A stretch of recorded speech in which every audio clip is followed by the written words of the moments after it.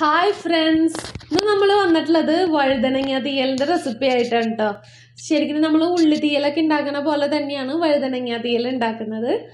അപ്പോൾ നമ്മുടെ ചാനൽ ആദ്യമായിട്ട് കാണുന്നവരുണ്ടെങ്കിൽ ഒന്ന് സബ്സ്ക്രൈബ് ചെയ്തോളൂ. തൊട്ടടുത്തുള്ള ബെല്ലൈക്കൻ കൂടി ക്ലിക്ക് ചെയ്ത് അതിൽ ഓൾ എന്നുള്ള ഓപ്ഷനും കൂടി പ്രസ് ചെയ്ത് വെച്ച് കഴിഞ്ഞാൽ ഞാൻ പുതിയ വീഡിയോസ് അപ്ലോഡ് ചെയ്യുമ്പോൾ നിങ്ങൾക്ക് നോട്ടിഫിക്കേഷൻ വരുന്നതായിരിക്കും.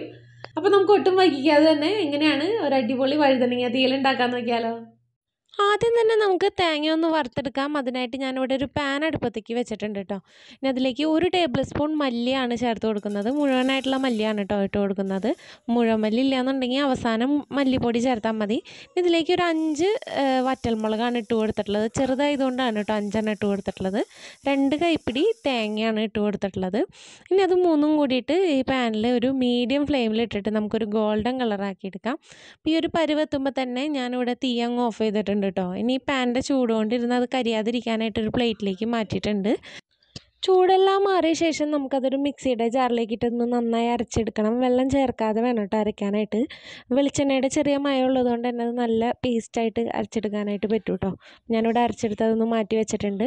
ഇനി ഒരു നാരങ്ങയുടെ വലുപ്പത്തിൽ പുളി ഒന്ന് കുതിർക്കാനായിട്ട് വെള്ളത്തിലിട്ട് വെക്കാം കേട്ടോ പിന്നെ ഞാനിവിടെ ഒരു വലിയ വഴുതനങ്ങയാണ് കേട്ടോ എടുത്തിട്ടുള്ളത്. അതൊന്ന് നാലായിട്ട് കട്ട് ചെയ്ത ശേഷം നമുക്കതൊന്ന് അരിഞ്ഞെടുക്കാം കേട്ടോ. ഒരുപാട് അങ്ങ് ചെറുതാക്കണ്ട. തീയലിന് അത്രയ്ക്ക് ഭംഗി ഉണ്ടാവില്ല കാണാനായിട്ട്. തീയൽ റെഡിയാക്കാനായിട്ട് ഞാനിവിടെ രണ്ട് ടേബിൾ സ്പൂൺ വെളിച്ചെണ്ണയാണ് കേട്ടോ എടുത്തിട്ടുള്ളത്. അതിലേക്ക് ഒരു ടീസ്പൂൺ കടുകിട്ട് നന്നായി പൊട്ടി വരുമ്പോൾ കാൽ ടീസ്പൂൺ ഉലുവ ഇട്ട് കൊടുക്കാം കേട്ടോ. ഇനി അതൊന്ന് വഴണ്ടു വരുമ്പോൾ നമുക്ക് ഒരു തണ്ട് കറിവേപ്പിലയും ഒരു സവോള ഒന്ന് ചെറുതായിട്ട് കട്ട് ചെയ്തതും കൂടി ഇട്ട് കൊടുക്കുന്നുണ്ട്. ഇനി സവോള പെട്ടെന്ന് വഴണ്ടു വരാനായിട്ട് നമുക്കിതിലേക്ക് ആവശ്യമായിട്ടുള്ള ഉപ്പ് ഇട്ട് കൊടുക്കാം കേട്ടോ. അപ്പോൾ തീയലിലേക്ക് എന്തോരം ഉപ്പാണോ ആവശ്യം അത് ഈ സമയത്ത് അങ്ങ് ഇട്ട് കൊടുക്കാം കേട്ടോ അപ്പോൾ ഞാനവിടെ ഒരു മുക്കാൽ ടീസ്പൂണാണ് ഉപ്പിട്ട് കൊടുത്തിട്ടുള്ളത്. ഇനി അതിലേക്ക് അതൊന്ന് ഗോൾഡൻ കളറായി വരുമ്പോൾ അര ടീസ്പൂൺ മഞ്ഞൾപ്പൊടിയും കൂടി ചേർത്തിട്ട് ആ മഞ്ഞൾപ്പൊടിയുടെ കുത്തു മാറണ വരെ ഇതുപോലെ ഒന്ന് ഇളക്കി കൊടുക്കാം കേട്ടോ ഞാൻ വഴുതനങ്ങയും കൂടി അതിൽ ഒന്ന് ജസ്റ്റ് ഒന്ന് വഴറ്റിയെടുത്ത ശേഷം ഇതിലേക്ക് നല്ല തിളച്ച വെള്ളമാണ് ഞാൻ ഒഴിച്ചു കൊടുക്കുന്നത്. അപ്പോൾ ഒന്നര ഗ്ലാസ് വെള്ളം ഞാനൊന്ന് തിളപ്പിച്ചെടുത്തിട്ടുണ്ട് കേട്ടോ.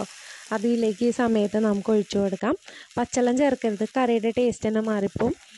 ഇനി ഇത് നമുക്ക് ഇതിൽ കിടന്നൊന്ന് നന്നായി വെന്ത് വരണം. അതിനായിട്ട് അതൊന്ന് മൂടി വെച്ചിട്ടുണ്ട് കേട്ടോ വഴുതനങ്ങയൊക്കെ ഒന്ന് വെന്ത് വെള്ളമൊക്കെ ഒന്ന് വറ്റി വന്നിട്ടുണ്ട്. ഈ സമയത്ത് നമുക്കിതിലേക്ക് പുളിവെള്ളം ഒഴിച്ചു കൊടുക്കാം കേട്ടോ അപ്പോൾ ഒന്ന് അരിച്ചിട്ട് വേണം പുളിവെള്ളം ഒഴിച്ചു കൊടുക്കാനായിട്ട്.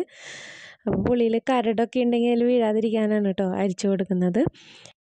ഇനി അതൊന്ന് തിളച്ച് വരുമ്പോൾ നമ്മൾ നേരത്തെ വറുത്തരച്ച് മാറ്റി വെച്ചിട്ടുള്ള തേങ്ങയും കൂടി ഇതിലേക്ക് ഇട്ട് കൊടുക്കാം കേട്ടോ. അപ്പോൾ ഈ സമയത്ത് നമുക്ക് തേങ്ങയും കൂടി ഇട്ട് കൊടുക്കാം.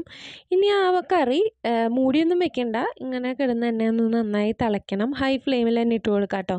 അപ്പോൾ തിളച്ച് തിളച്ച് അതൊന്ന് വറ്റി ഒന്ന് കുറുതായി വരണം. എണ്ണ തെളിഞ്ഞ് വരണം കേട്ടോ. അപ്പോഴാണ് കറക്റ്റ് പരുവെന്ന് പറഞ്ഞു കഴിഞ്ഞാൽ ഈ സമയത്ത് ഉപ്പ് ആവശ്യമാണെങ്കിൽ ചേർത്ത് കൊടുക്കാം. ഒന്ന് കുറഞ്ഞ് നിന്നാൽ മതി. ഒന്ന് കുറുതായി വരുമ്പോൾ കറക്റ്റ് ആയിരിക്കും കേട്ടോ. അപ്പോൾ ഇത് നമ്മളുടെ കറി എണ്ണയൊക്കെ തെളിഞ്ഞ് ഇവിടെ റെഡിയായി വന്നിട്ടുണ്ട്. ഇത്രേ ഉള്ളൂ വഴുതനങ്ങ തീയൽ ചോറിന്റെയും ചപ്പാത്തിയുടെയും ഒക്കെ കൂടെ കഴിക്കാൻ നല്ല ടേസ്റ്റാണ് കേട്ടോ അപ്പോൾ എല്ലാവരും വഴുതനങ്ങയൊക്കെ കിട്ടുമ്പോൾ ഇതുപോലെ ഒന്ന് ട്രൈ ചെയ്ത് നോക്കാം. ട്രൈ ചെയ്ത് നോക്കിയിട്ട് നിങ്ങളുടെ അഭിപ്രായങ്ങളും നിർദ്ദേശങ്ങളും ഒക്കെ കമന്റ് ബോക്സിലൂടെ അറിയിക്കാൻ മറക്കരുത്. നമ്മുടെ വീഡിയോ ഇഷ്ടപ്പെട്ടാൽ ലൈക്ക് ചെയ്യുക ഷെയർ ചെയ്യുക സബ്സ്ക്രൈബ് ചെയ്യാതെ കാണുന്നവരുണ്ടെങ്കിൽ ഒന്ന് സബ്സ്ക്രൈബ് ചെയ്യുക അടുത്ത ദിവസം അടിപൊളി റെസിപ്പി ആയിട്ട് വീണ്ടും കാണുമ്പോഴേക്കും till then take care and bye bye Chandini Arun.